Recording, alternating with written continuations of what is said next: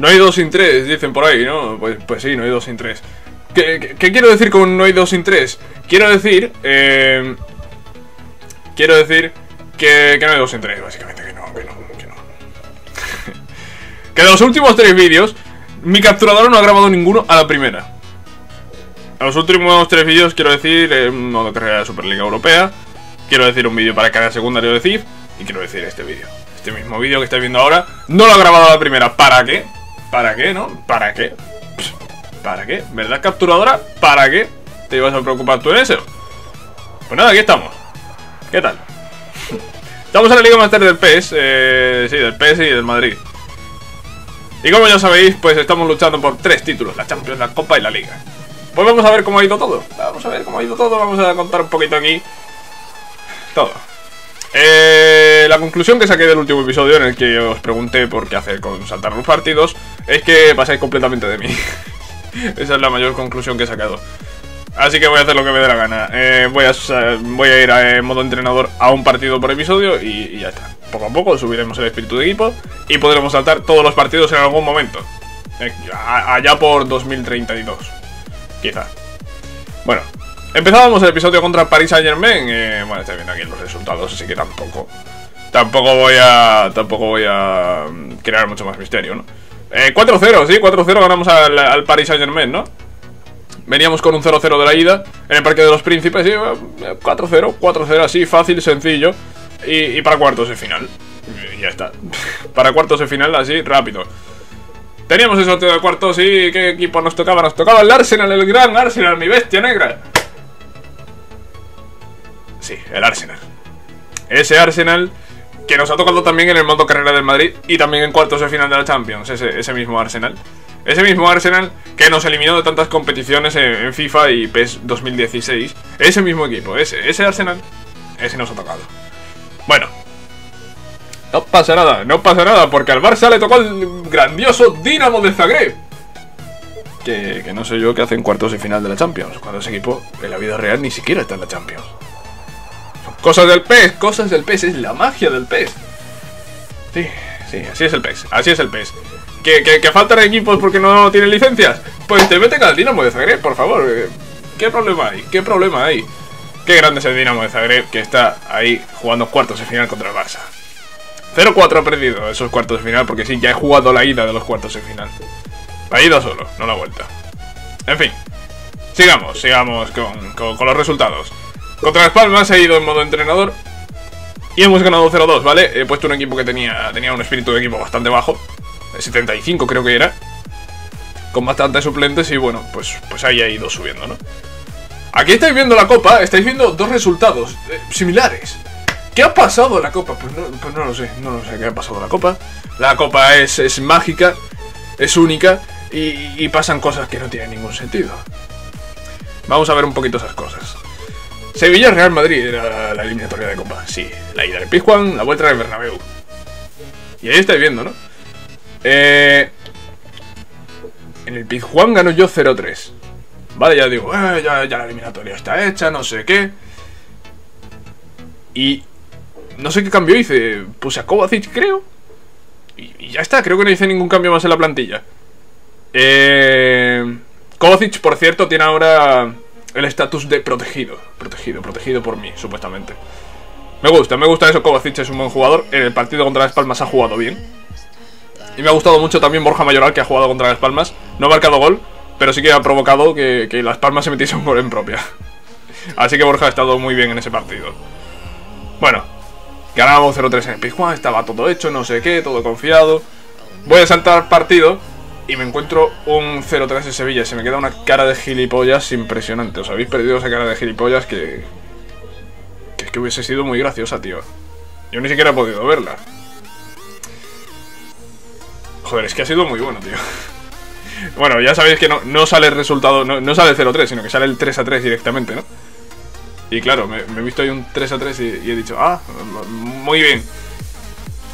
¿Y qué ha pasado? ¿Qué ha pasado? Cuando ¿Qué pasa cuando hay empate? ¿Y, y qué pasa? Pues, pues, que hay penaltis. Aquí no los ponen. No, aquí no los ponen los penaltis. Pues bueno, ha habido penaltis, como digo. ¿Y qué ha pasado en esos penaltis? Pues que hemos ganado. Y menos mal. Menos mal que hemos ganado en esos penaltis porque, porque madre mía. 4-5 hemos ganado en penaltis. Es que yo no entiendo cómo ganamos 0-3 en el Pizjuán y después viene Sevilla y nos gana 0-3 a nosotros en el Bernabéu. Son cosas del PES, son cosas de Konami. Cosas que no entiendo, no entiendo yo ni entiende nadie. El saltar, el, el saltar partidos es una lotería. Completamente. Es una locura. Es una locura, tío. Yo no puedo ganar 0-3 en el Pizjuán y después en el Bernabéu perder 0-3, tío. Es que no tiene sentido. Es que no tiene sentido contra el mismo equipo. Le he ganado 0-3 en su campo y, y, en casa después pierdo yo 0-3 contra ellos. No. No tiene sentido, pero bueno, así es, así es eh, PES. Así es el Liga Master. Y bueno, pues ya después de esto tenemos aquí una semana sin partidos, no me preguntéis por qué. Eh, ah, bueno, sí, sí, sí. Parón internacional. ¿Qué os suena esto? Parón internacional, justo después de parón partido de Champions. Eh, cuartos de final. ¿No suena PES 2015? 2016, no 2015. A PES 2015 con la Liga Master del Madrid. ¿Contra qué equipo nos enfrentamos? Contra Wolfsburgo. ¿Qué pasó contra Wolfsburgo? ¿Qué perdimos? Contra el Arsenal no ha pasado y menos mal. Contra el Arsenal no ha pasado y menos mal. Por cierto, el Barça había, había pinchado la liga y todo eso me había puesto a un punto después de este partido de la, contra las Palmas. Hemos perdido esa ventaja como habéis visto ahí.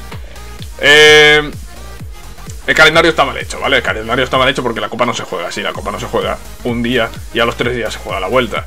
Eh, después, es que, es que no tiene sentido. el calendario está mal hecho, pero bueno. ¿Qué le vamos a hacer? Justo después de un parón de selecciones tampoco hay nunca un partido de Champions. Pero bueno, son, cosas, son cosas del PES. Ya sabéis lo que pasa cuando hay parón de selecciones y justo después hay un partido. Todos los jugadores que van con la selección están eh, más o menos, yo diría que un 75, eh, tienen solo un 75% de forma. Entonces he metido unos cuantos suplentes, he puesto a Morata, he puesto a... ¿A quién he puesto? He puesto a Morata, he puesto a Asensio, he puesto a Casemiro, he puesto a jugadores que no, que no han ido con la selección y que estaban al tope de forma. Y nada, hemos conseguido ganar al Arsenal. 2 a 0 en casa, no está mal. Todavía queda el partido de vuelta y viendo cómo funciona lo de saltar partidos, puede pasar cualquier cosa. Me puede ganar 5-0 a lo mejor, o a lo mejor gano yo 0-8. Es que la simulación de este juego es muy random, tío. Es demasiado random la simulación de este maldito juego. Pues nada, después de ganar a Sevilla, bueno, de eliminar a Sevilla, de ganar al Arsenal, de eliminar al PSG también. Nos toca contra Valencia en casa y perdemos 1-3. ¿Por qué hemos perdido 1-3? Os preguntaréis. Pues yo creo que la causa está aquí, 85 de espíritu de equipo.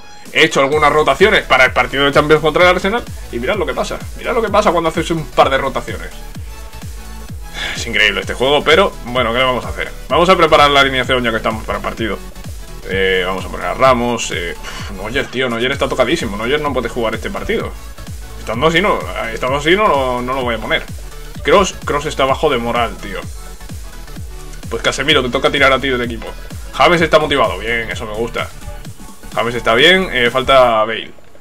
Falta Bale y ya con Bale lo tenemos todo listo. Nos falta Cross eh, y nos falta Neuer. Nos faltan dos jugadores que están bastante tocaditos en moral, ¿eh? Los alemanes. ¿Qué le pasa a los alemanes, tío? ¿Qué le pasa a los alemanes, tío? Que están tocados. Pues no lo sé. No lo sé. Isco ha subido a 85 de media.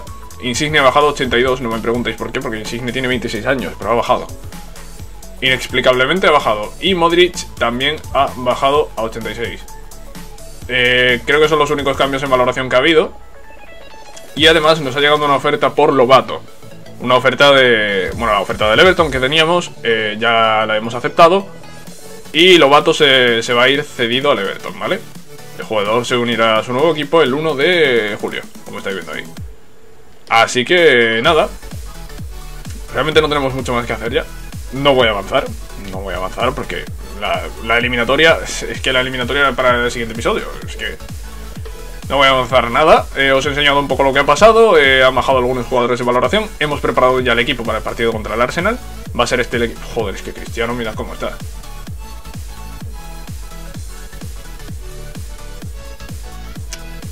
¿Qué hacemos con Cristiano, tío? Bueno, ya tenéis algo para dejarme en comentarios. ¿Qué hacemos con Cristiano? ¿Juega Cristiano o juega Insigne? Haré lo que me dejéis en comentarios. El tema de entrenamiento de habilidad sigue aquí. Eh, no, no, no. Si sigue entrenando, pues nada. ¿Cuánto tiempo? ¿Pone el tiempo que le queda?